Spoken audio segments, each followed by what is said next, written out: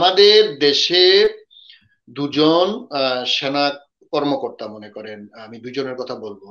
একজন DGFI chief ছিলেন, একজন এনএসআই এর চিফ ছিলেন। রেজ্জাকুল হায়দার আর একজন মনে হয় Abdul Rahim major general Rezzakul Haider major general Rahim.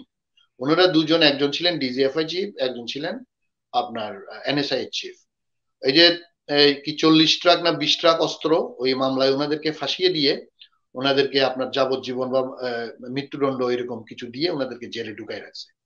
আমার দেশের ইন্টেলিজেন্ট অফিসাররা সরকারের দেশের নিরাপত্তার জন্য অনেক কাজ করবে। এখন ইন্ডিয়া তো এক হাজার না দশ হাজার ট্রাক অস্ত্র আমাদের পার্বত্য চট্টগ্রামে দিয়েছে পঁচাত্তর সাল থেকে। তো আমাদের এই ভারতের গোয়েন্দা সংস্থার কোন প্রধানের বিরুদ্ধে কি আমরা কোনো অভিযোগ করছি? অথবা ভারত কি তাদেরকে গ্রেপ্তার করে জেলে দিছে? যদি বাংলাদেশের কোন, আপনার এরকম আমাদের দেশপ্রেমিক, আমাদের সেনাবাহিনীর এইসব কর্মকর্তাদেরকে যদি এইভাবে মরাল শেষ করে দেওয়া হয়, তারা যদি জাতির কোন আপনার কার্যক্রমে নিরাপত্তা বোধ নিরাপত্তা, দেশের নিরাপত্তার জন্য জাতির নিরাপত্তার জন্য কোনো কার্যক্রম করে থাকে। আমি বিশটাক অস্ত্রের পক্ষে কথা বলব না। বিশটাক অস্ত্র তো বিএনপি ধরেছে। বেগম খালেদা জিয়ার আমলেই তো এগুলা ধরা হয়েছে। আমার পাশের দেশের জন্য কোনো টেরোরিস্ট অ্যাক্টিভিটি আমরা হবে আমরা আমরা সেটা চাই না। বিএনপিও সেটা চাই না। কোনো সচেতন নাগরিকই এটা চায় না।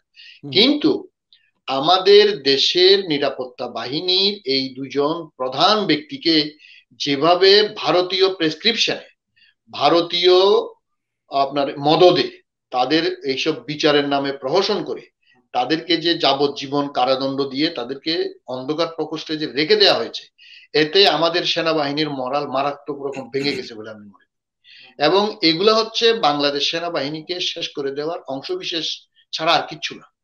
এবং এখন তাদেরকে টাকা পয়সা লোভ দেখিয়ে গুন গুন তাদের মাধ্যমে করে তাদেরকে মনে করেন একটা সিনিয়র লেভেলে একটা বিরাট ধরনের একটা আপনার তাদের দুর্বল করে দেওয়া হয়েছে তাদের মরাল ধ্বংস করে দেওয়া হয়েছে।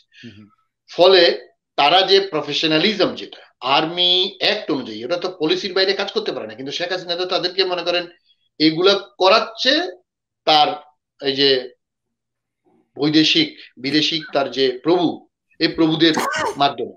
এবং অনেকে অভিযোগ করছেন বাংলাদেশ সেনাবাহিনীর কোনো প্রমোশন টমোশন তাদের প্রেসক্রিপশন ছাড়া হয় না।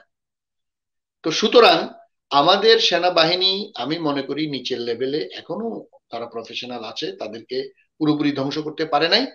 তবে এখন যে রিক্রুটমেন্ট হচ্ছে, এখানে নাকি আওয়ামী লীগ না করলে কেউ রিক্রুটমেন্ট করা যাবে না। মানে সবকিছু শেষ করে এখন এখানেও ঢুকছে। দলীয় আপনার দলদাস করার জন্য সেনাবাহিনী, নৌবাহিনী বা বিমান বাহিনীকে।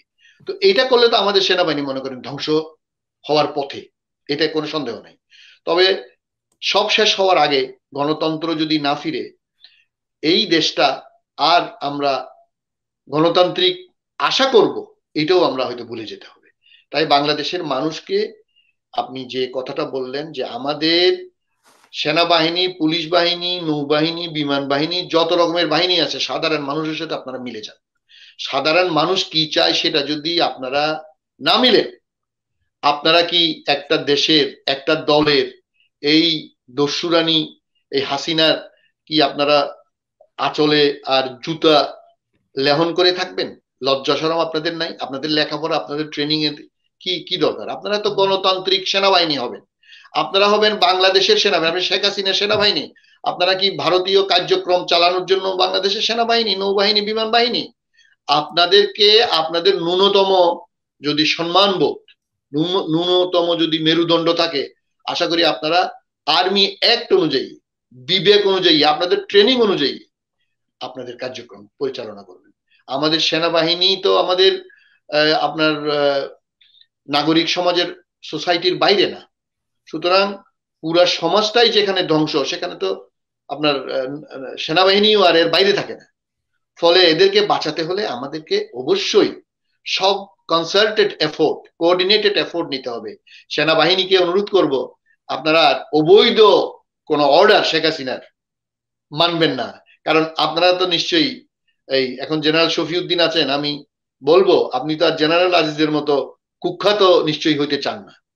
অন্তত দেশের মানুষের ডিমান্ড অনুযায়ী আর্মি অ্যাক্ট অনুযায়ী কাজ করবে এর বাইরে কোনো কাজ করার যদি আপনার ইচ্ছা থাকে তাহলে আপনিও ওই জেনারেল আজিজের মতোই ধ্বংসের দিকেই যাবেন।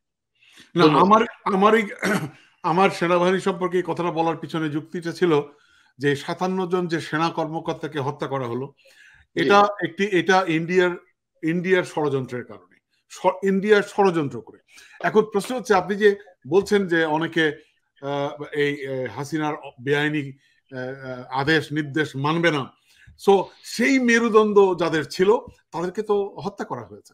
হ্যাঁ ষড়যন্ত্র করে হত্যা করা হয়েছে।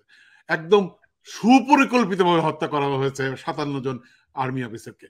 সো এই এই যে তাদেরকে হত্যা করার মধ্য দিয়ে আর্মির যে একটি মেরুদণ্ড এটি নষ্ট করা হয়েছে কিনা এটাই আমি বলতে চাচ্ছিলাম যে অবশ্যই আমাদের আমাদের আমাদের সাতান্ন জন যে যোগ্য অফিসার যাদেরকে হত্যা করা হয়েছে আপনি কি মনে করেন এইটার তদন্ত আবার হবে না?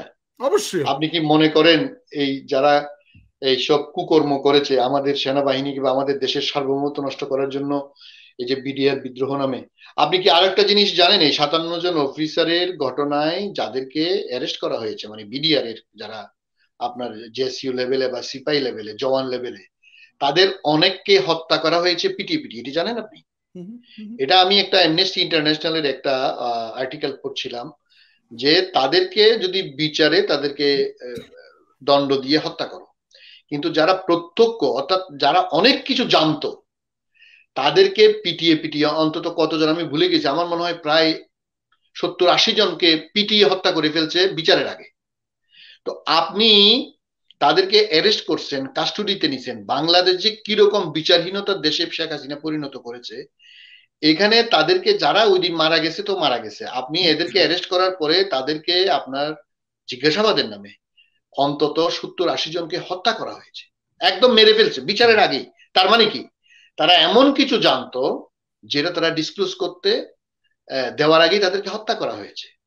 অর্থাৎ কোনো এভিডেন্স তারা রাখে নাই। কিন্তু তারা জানে না যে সত্য কোনোদিন চাপা থাকে না। এমন এভিডেন্স নিশ্চয়ই বেরোবে গণতান্ত্রিক সরকার যখন আবার বেরোবে আমাদের সাতান্ন জন সেনা অফিসারকে যারা হত্যা করেছে এদের পিছনে কারা ছিল? ইন্ধন কারা দিয়েছে?